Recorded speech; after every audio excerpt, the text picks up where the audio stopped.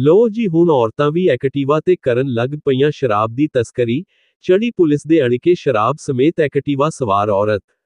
ਜ਼ਿਲ੍ਹਾ ਗੁਰਦਾਸਪੁਰ ਨਜਾਇਜ਼ ਸ਼ਰਾਬ ਦੀ ਵਿਕਰੀ ਲਈ ਬਦਨਾਮ ਰਿਹਾ ਹੈ, ਪਰ ਪੁਲਿਸ ਦੀ ਸਖਤੀ ਤੇ ਚਲਦਿਆਂ ਇਸ ਧੰਦੇ ਵਿੱਚ ਕਾਫੀ ਕਮੀ ਆਈ ਹੈ। ਹੁਣ ਨਜਾਇਜ਼ ਸ਼ਰਾਬ ਵੇਚਣ ਵਾਲੇ ਪੁਲਿਸ ਤੋਂ ਬਚਣ ਲਈ ਵੱਖ-ਵੱਖ ਤਰਕੀਬਾਂ ਲਗਾ ਰਹੇ ਹਨ। ਧੰਦੇ ਵਿੱਚ ਔਰਤਾਂ ਨੂੰ ਵੀ ਸ਼ਾਮਿਲ ਕੀਤਾ ਜਾ ਰਿਹਾ ਹੈ। ਜਿੱਥੇ ਪਹਿਲਾਂ ਔਰਤਾਂ ਸਿਰਫ ਘਰਾਂ ਵਿੱਚ ਸ਼ਰਾਬ ਵੇਚਣ ਦਾ ਕੰਮ ਕਰਦੀ ਸੀ, ਹੁਣ ਉਹ ਸ਼ਰਾਬ ਤਸਕਰੀ ਦੇ ਕਰ ਕੰਮ ਵਿੱਚ ਵੀ ਲੱਗ ਗਈਆਂ ਹਨ।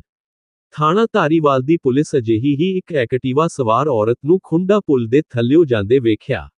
ਅਸਲ ਵਿੱਚ ਔਰਤ ਨੇ ਪੁਲਿਸ ਨੂੰ ਦੇਖ ਕੇ ਘਬਰਾ ਕੇ ਮੁੜਨ ਦੀ ਕੋਸ਼ਿਸ਼ ਕੀਤੀ ਸੀ, ਸ਼ੱਕ ਪੈਣ ਤੇ ਉਸ ਦਾ ਤੁਰੰਤ ਪਿੱਛਾ ਕਰਕੇ ਉਸ ਨੂੰ ਫੜ ਲਿਆ ਗਿਆ ਤੇ ਤਲਾਸ਼ੀ ਲਈ ਤਾਂ ਇਸ ਦੀ ਸਕੂਟਰੀ 'ਚੋਂ 80 ਬੋਤਲਾਂ ਨਜਾਇਜ਼ ਸ਼ਰਾਬ ਬਰਾਮਦ ਹੋਈ।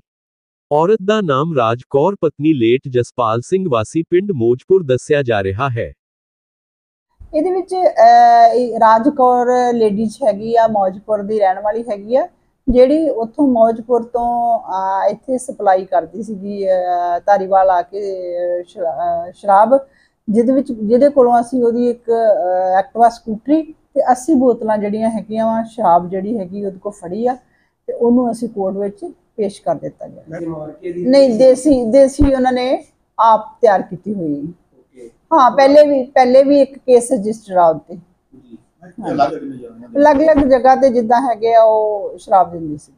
ਅਸੀਂ ਨਾਕਾ ਲਾਇਆ ਹੋਇਆ ਸੀਗਾ ਤੇ ਖੁੰਡਾ ਪੁਲ ਹੈਗਾ ਜਿਹੜਾ ਉੱਥੇ ਨਾਕਾ ਲਾਇਆ ਹੋਇਆ ਸੀ। ਉੱਥੇ ਜਦੋਂ ਅਸੀਂ ਚੈਕਿੰਗ ਕੀਤੀ ਤਾਂ ਥੋੜਾ ਇਹਨੇ ਕੋਸ਼ਿਸ਼ ਕੀਤੀ ਮੈਂ ਭੱਜਾਂ। ਫਿਰ ਸਾਨੂੰ ਥੋੜਾ ਸ਼ੱਕ ਹੋ ਗਿਆ।